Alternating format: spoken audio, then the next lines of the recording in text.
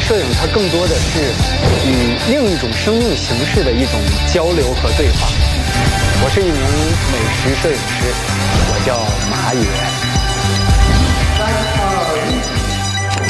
身穿黑色 T 恤，梳着油头，戴着一个圆圆的黑框眼镜，拿起相机的眼神充满自信。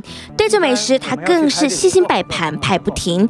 他不仅是大陆第一位专攻美食摄影的人，更是米其林御用的美食摄影师。拍美食的时候，我会给它的色温稍微的加那么一百、两百，让它出来一点这个暖暖的感觉。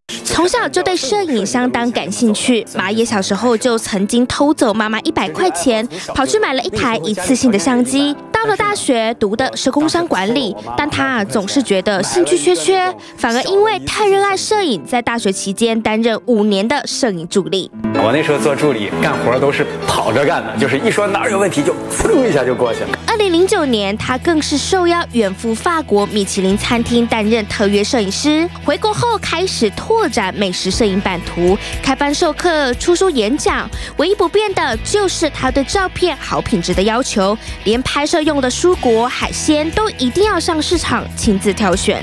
而这个樱桃萝卜，我想要稍微大一点、圆一点、规整一点。尽管家中父母反对到底，马野总是笑笑的带过。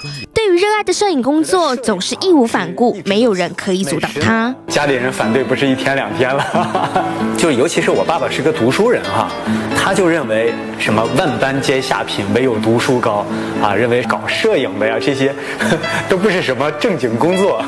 呃，我跟我妈还开玩笑呢，就是因为有好多孩子不听他妈妈的话，所以这个世界才会进步。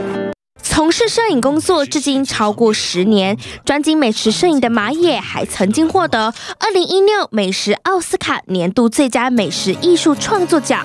现在的他被热爱的工作包围，他说：“美食摄影不仅给他一份工作，更给他生活增添了厚度，是一件再幸福不过的事了。”记者黄子轩、陈嘉柔综合报道。